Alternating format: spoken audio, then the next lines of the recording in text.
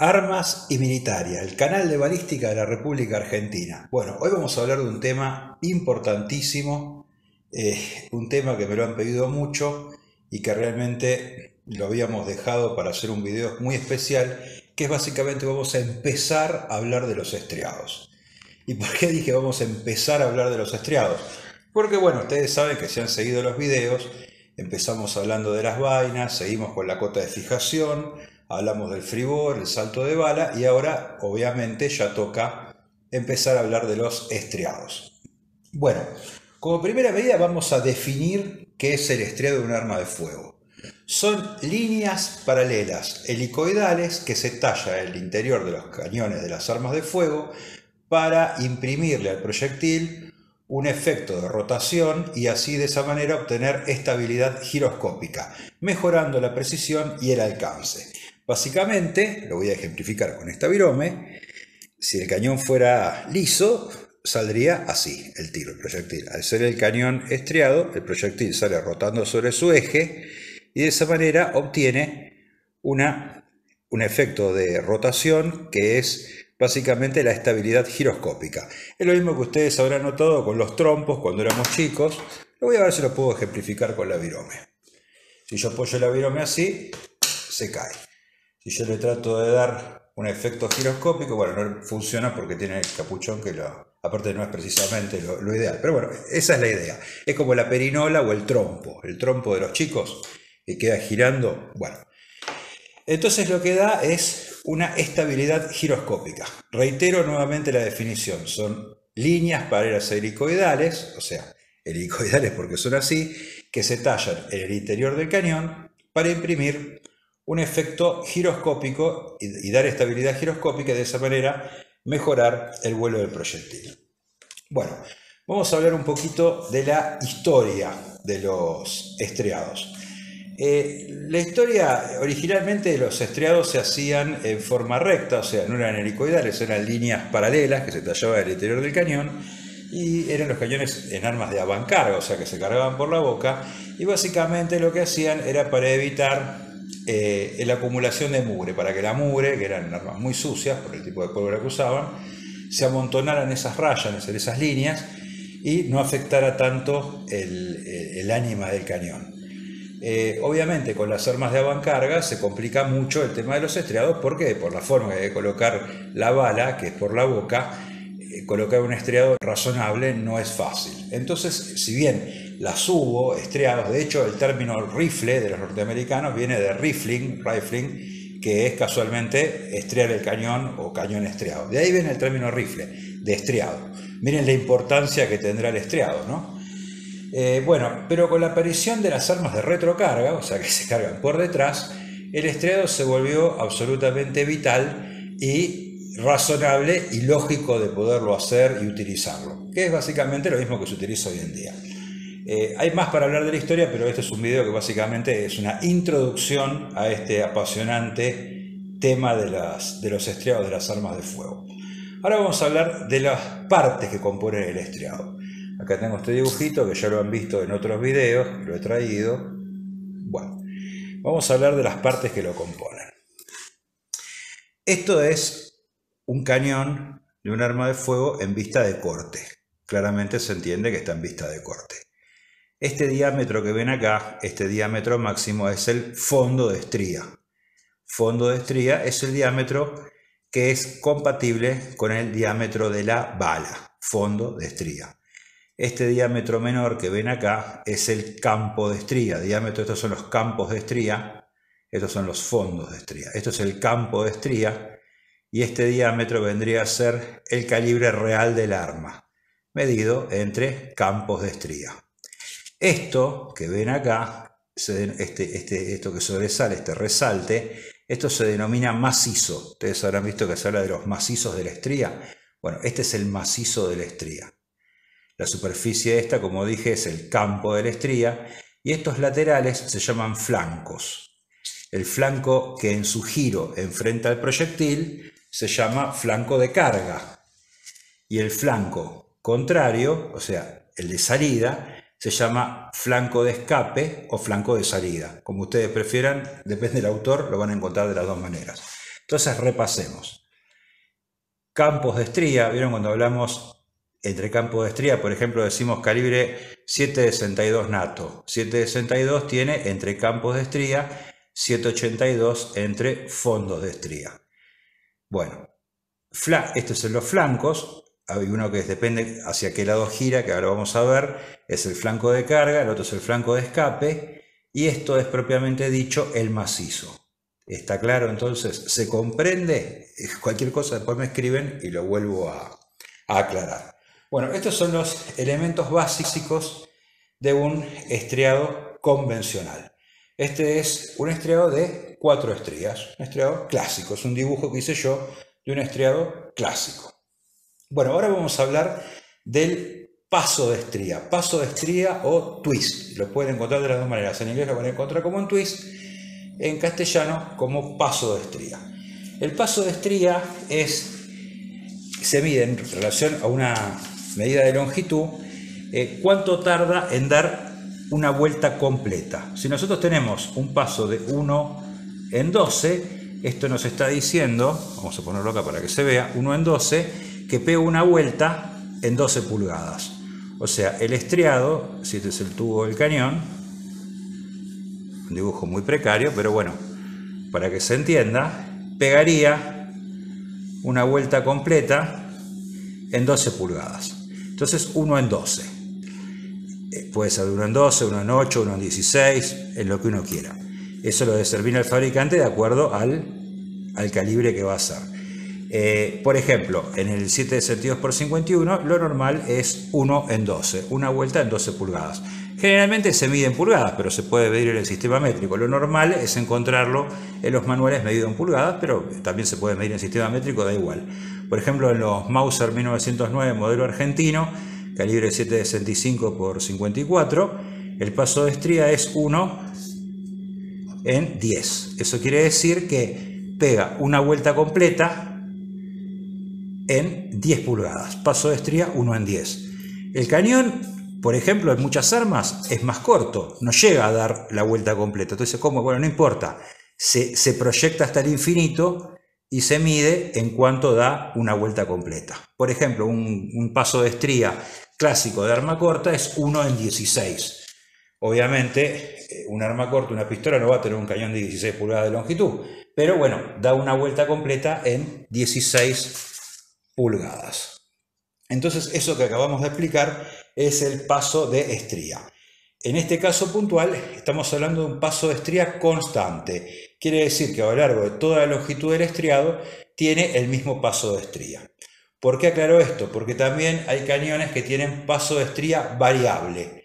Es decir, que no tienen el mismo paso de estría a lo largo de todo el cañón. Y hay de tipo progresivo y regresivo. El progresivo es, aquel en el cual empieza con un paso de estría menor y esa estría se va acelerando, para decir de una manera, se va haciendo más cerrado el proyectil, eso se llama progresivo. Eh, ejemplo de eso, el Mannlicher Carcano. Fusil Mannlicher Carcano tiene un estriado progresivo. Y después hay algo que es muchísimo menos común todavía, que es el regresivo, que es aquel en el cual inicia con un estriado más cerrado y se va abriendo hacia la boca del cañón. Eso prácticamente no, no existe, pero bueno, lo nombro porque existe, está también en el mundo. Lo más normal es el, estado, el estriado constante, es decir, que a lo largo de todo el tubo cañón tenga el mismo paso de estría. Bueno, ahora vamos a hablar de la profundidad, o mejor dicho, el alto del flanco. Eh, es eh, interesante porque uno dice la profundidad de la estría, la profundidad de la estría en realidad siempre va a estar dado por el diámetro de la bala. Uno no puede hacer una estría, pues si no tendría fuga de gases y viento balístico por todos lados. Lo importante es la altura del flanco. Puede ser mayor o menor. Y puede ser constante o progresiva. Regresiva obviamente que nunca va a ser, siempre puede ser progresiva.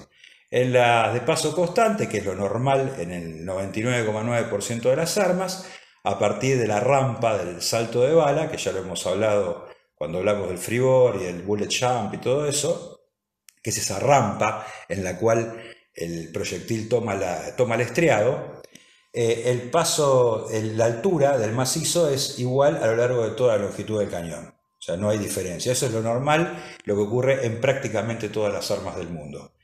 Eh, pero en algún momento se utilizó también una, altura de macizo progresivo. Empezaba con una altura menor para que sea menos agresivo hacia el, hacia el proyectil y después se iba incrementando a medida que llegaba a la boca del cañón. Lo nombro porque es un tema de que saberlo. Pero como dijimos, lo normal en casi todas las armas que hay en el mercado, de casi todas las armas, tanto actuales como antiguas, lo, lo absolutamente normal es paso constante, altura del macizo constante.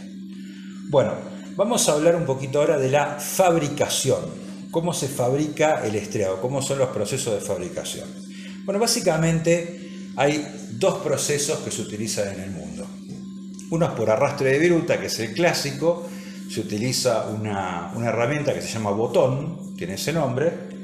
Bueno, es una máquina que se denomina estriadora, en la cual se sujeta firmemente el cañón, el cual fue perforado a este diámetro, o sea, lo que vendría a ser el diámetro original entre campos, y ese botón va tallando, tiene un, registro que lo va marcando como tiene que ir avanzando, y talla las estrías al diámetro previsto para, obviamente, el fondo de estría y de acuerdo a la cantidad de estrías que uno le quiera poner.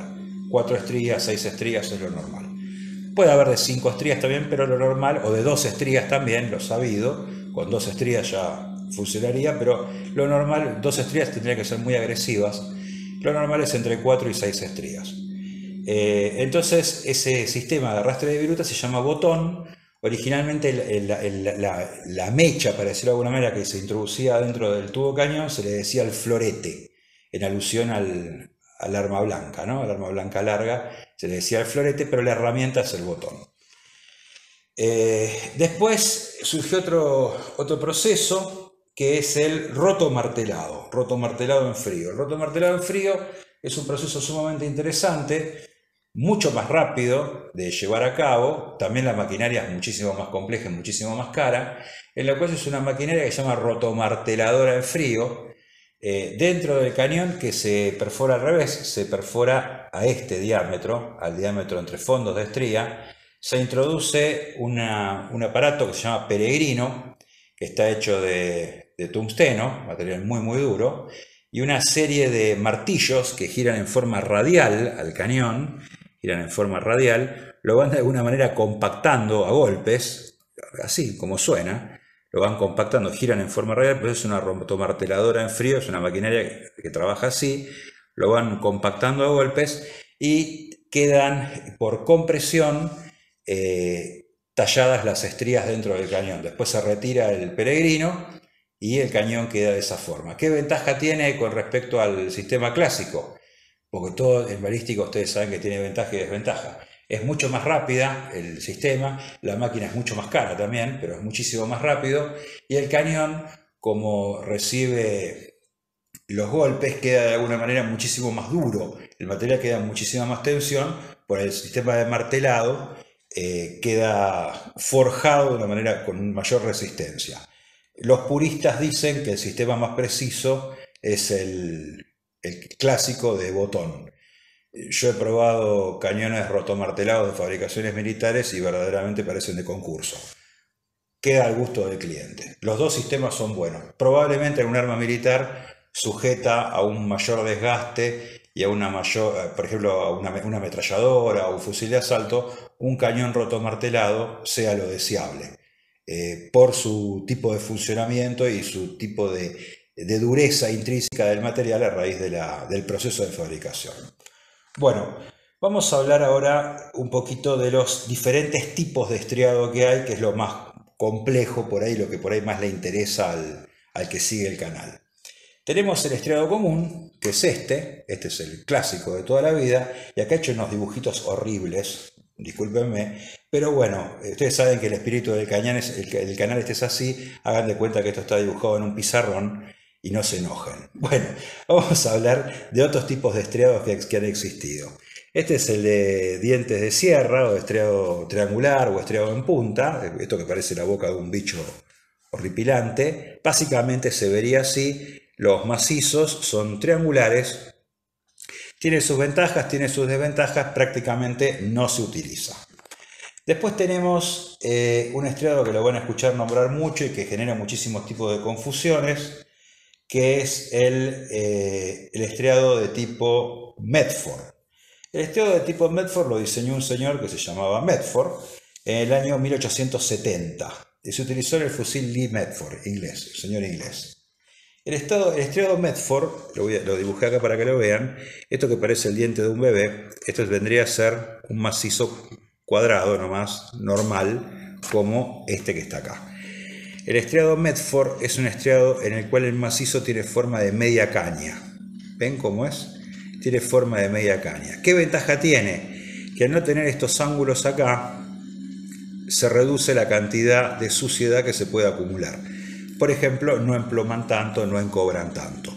Se obtiene más velocidad inicial por la forma que tiene y eh, otra de las ventajas que tiene es, aparte del proceso de la, limpieza, es que es menos agresivo con la superficie de la, bala. Por otro lado, eh, otra de una de las contras que sí puede tener es que si usamos munición, por ejemplo, de plomo puro y con alta velocidad, puede llegar a saltar la estría. Puede llegar a suceder. Eh, el estriado Medford es un estriado que eh, se utiliza bastante y se confunde con otro estriado, que lo dibujé acá, que es el poligonal, que tiene superficies planas en estado puro, ¿ven? Que tiene, no tiene técnicamente un estriado, esto se denomina, ni siquiera es un estriado, esto se denomina conducción.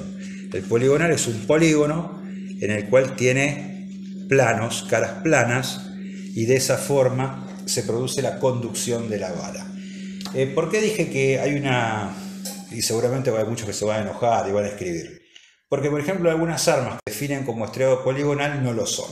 Ejemplo, la Glock. Ustedes habrán escuchado que se dice la Glock tiene cañón poligonal.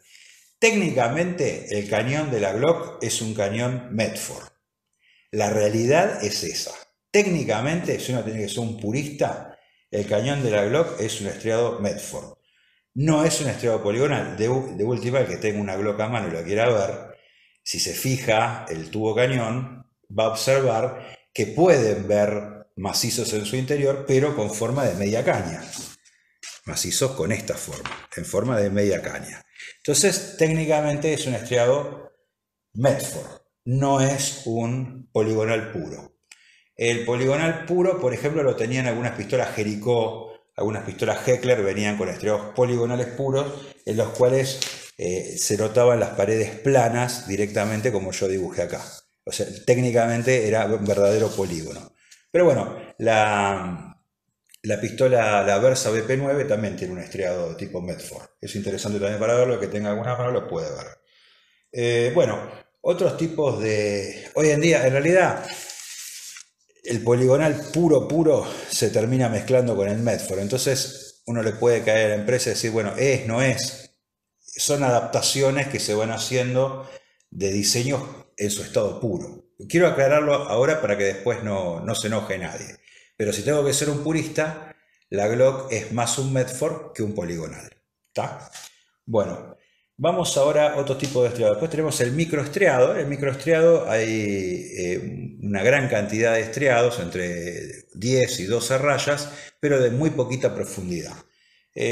la CZ lo utiliza mucho, hay muchas carabinas 22, muchas armas de aire comprimido, eh, microestriadas. El microestriado es muy preciso, es muy poco agresivo, pero en armas de gran calibre tiene el problema de que si utilizamos municiones de plomo blando sobre todo, puede llegar a saltar la estría, es decir, en vez de la bala tomar la estría, al tener tan poca profundidad, la salta y la pasa de largo. ¿Se entiende lo que quiero decir? Bueno, este es el primer video que hemos hecho sobre estriados. Eh, vamos a hacer más, vamos a explicar más. Este video puntualmente se lo voy a dedicar a mi profesor, el ingeniero Waldemar Viso, que desgraciadamente falleció de COVID él fue mi profesor de balística y bueno, me parece que nada mejor que dedicarle este video a él, ¿no? Que es un tema que a él le encantaba. Así que la verdad que lo lamento muchísimo, era el director de fabricaciones militares, había sido director de la Frales Beltrán, ahora director de fabricaciones militares, eh, ingeniero militar, ingeniero Waldemar Viso, la coronel retirado del ejército, ingeniero. Así que bueno, a él la Argentina lo va a extrañar mucho porque desgraciadamente no hay un reemplazo en cuanto a su capacidad y su conocimiento en la materia. Lamento mucho porque aparte era una persona a la cual yo quería mucho y a la cual siempre le consultaba de todo. Incluso muchos de los videos que yo hice sobre el FAMCA, eh, previamente, los, ahora que ya no está, les puedo contar, los consultaba con él. Cuando me preguntan, eh, pero ¿dónde sacas? Bueno, muchos de los datos que yo tenía me los había pasado a él. Bueno, obviamente estaba vivo, no lo podía decir, ahora falleció, así que no habría ningún inconveniente que lo diga. Bueno, con relación al tema de los estriados, cualquier duda que haya, me escriben, la vamos a ir contestando y vamos a seguir haciendo más eh, videos explicando los movimientos, porque hablamos de movimiento de rotación, después hay que explicar en esos movimientos de rotación que es el movimiento deseado, es la traslación, o sea, y que el proyectil vaya de un punto al otro, y la rotación, pero hay movimientos indeseados como la precesión y la nutación, que es interesante después que los analicemos en otro video que va a ser bastante complejo también por su propia naturaleza. Si el video les gustó, denle un like, suscríbanse al canal y nos vemos en la próxima. Hasta luego.